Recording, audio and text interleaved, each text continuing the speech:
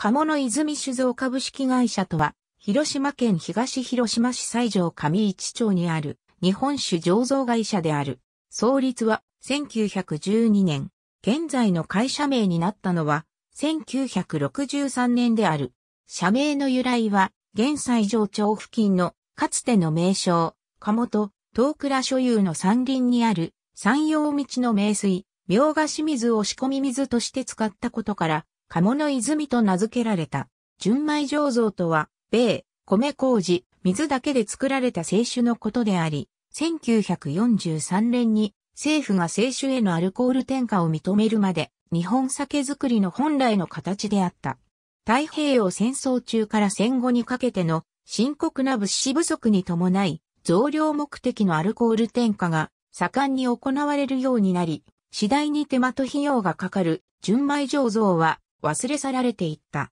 しかし、高度経済成長期には1965年頃から全国の蔵元でかつて行われた米と米麹だけの酒造りの復興を目指す動きが見え始めていた。鴨の泉でも二代目社長、前垣ことぶきさんにより、1965年から純米酒の試験醸造を開始。当時の増田幸雄の研究努力もあり、1971年にようやく純米醸造、本仕込み鴨の泉を発売するに至った。当時はまだ特定名称種の制度もなく、無添加種と呼んでいた。その後、特定名称種の制度ができ、純米酒、純米吟醸酒などの呼び方が一般的となり、全国の蔵に広がっていった。鴨の泉では1973年に全国15の蔵とともに純米醸造酒の普及と啓蒙のため、純粋日本酒協会を設立するなど、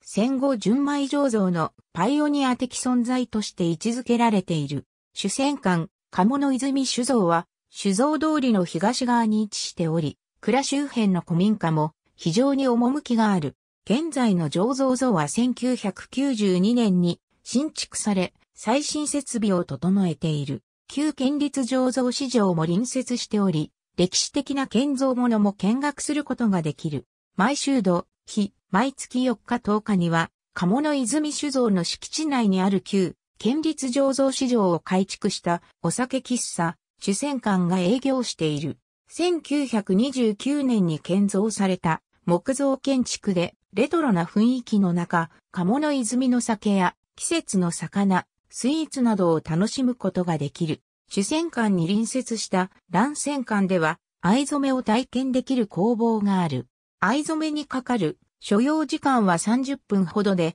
オリジナル藍染めを作ることができる。工房は、主戦艦営業中はいつでも見学することができるが、藍染め体験は担当者不在時にはできない。大吟醸純米大吟醸純米吟醸純米酒、純米酒本醸造酒普通酒リキュール類リキュール類、鴨の泉酒造内リンク参加団体リンク、行政公共リンク、ありがとうございます。